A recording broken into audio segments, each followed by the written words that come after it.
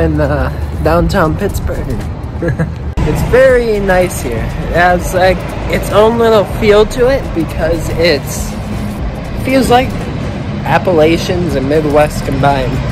People are nice here and it just feels like the heart of the Midwest, but it's not. Pittsburgh was amazing.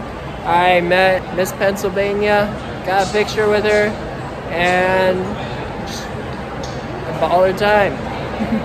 so today, Pittsburgh, tomorrow, Cleveland, Ohio. And wasn't that fast. No, it took me a whole day. But with some clever editing to you, it just a moment from now. So today, we are in Cleveland, Ohio, land of the Buckeyes and the Indians, soon to be, don't even remember what they're called, the Warriors, Guardians, something like that. But they'll always be the Indians. This was stadium number 10, one third of the way there. And we got 20 more to go as we keep her going, keep her going. Uh, traveling the U.S., very beautiful, very scenic. Uh, highly recommend if you have the chance and the time and the money. That's kind of why I made the finance channel in order to help people, you know, live life, do things, and be able to just live rather than wait to die. Because what's the point if you're just working your whole life not for anything and not trying to experience things. Because honestly, it just builds your character, you get to know yourself better, and it's just a fantastic time. Even if you're not traveling, if you're doing something you love doing and costs you nothing to do, or whatever, if it costs you a, a bunch or a little, doesn't matter. What matters is you find your purpose what matters is you find your driving force. Preferably, it makes you money on the side too, and that's how you contribute to society. That's how you give value to the world because everybody gives off a different value that helps make our society. Money is just a tool as a means to do things, to create to share resources and to just experience life. Um, yeah, money is no more than a piece of paper, but the value it gives is something that is life changing and so rewarding if you can do it right.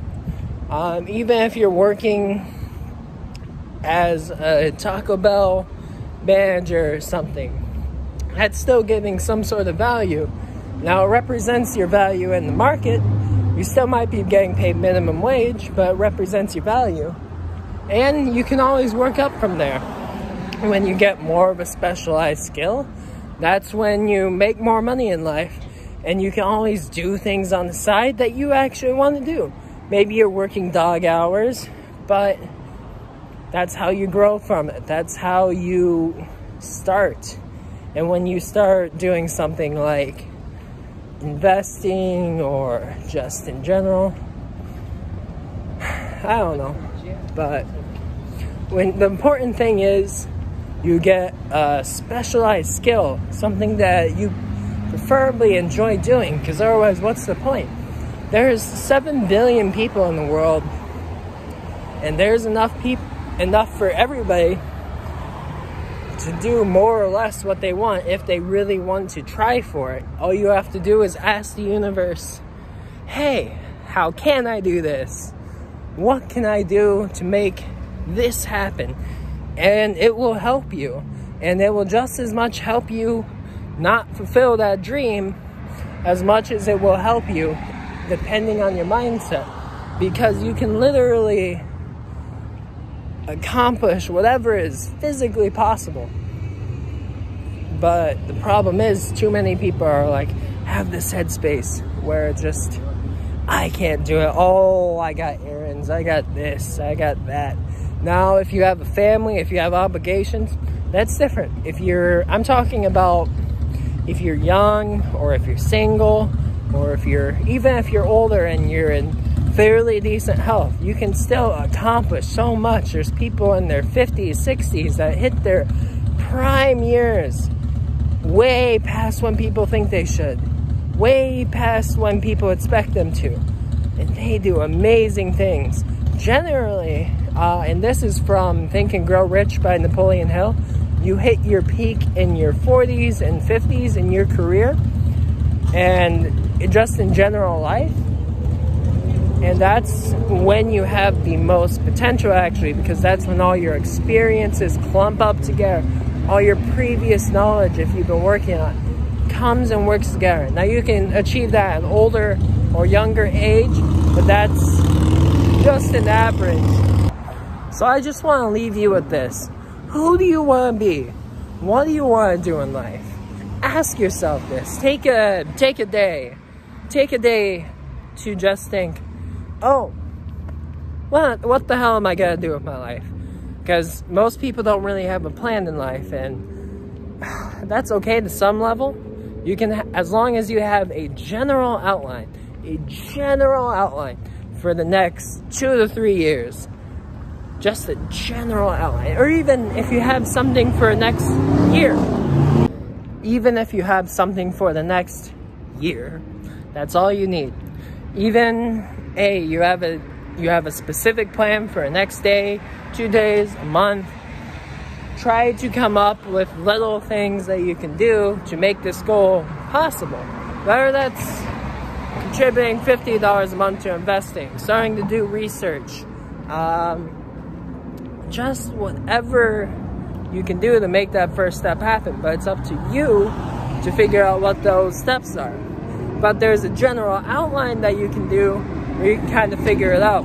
Always, always, always ask people. Don't be afraid to ask. But, woo! We went to Detroit, fellas. But anyways, you can do whatever you want. And you can achieve whatever dream you want in this country of ours, this great nation. And there's no place like this, at the very least. Um, if you're watching this from a different country, I'm sorry. But overall, overall, the human spirit is capable of doing whatever they really want to do. If you want to go to America and you're from uh, China, India, Japan, uh, Germany, you can. If you want to travel the country and you're in America or whatever country you reside, you can. This is the will of the human spirit, and it's more than just about finance, it's about the value you give to ours in society, and what you've done can help create you receiving value yourself in the form of whatever you want it to be. And you can give off endless potential, endless opportunity. And I would like to end off the video right there by saying good luck to all. And I think you can go far if you just ask the universe what can I do today that will reach me closer to my goal? What can I do to get me a little bit closer to that one thing or that one dream that will help me in the long run? Have a good day, y'all. Peace.